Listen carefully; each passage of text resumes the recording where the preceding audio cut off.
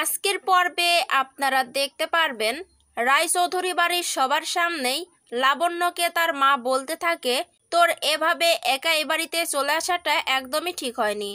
তুই তোর নিজের পায়ের কুড়োলটা নিজেই মেরেছিস।